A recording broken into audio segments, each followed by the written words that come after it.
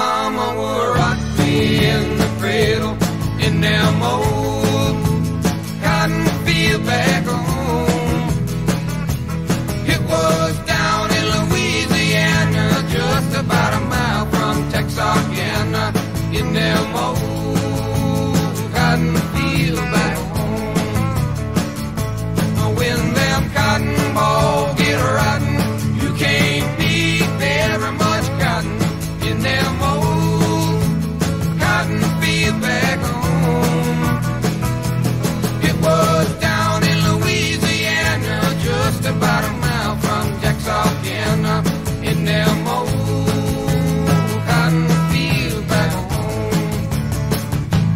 When I was a little bitty baby, my mama would rock me in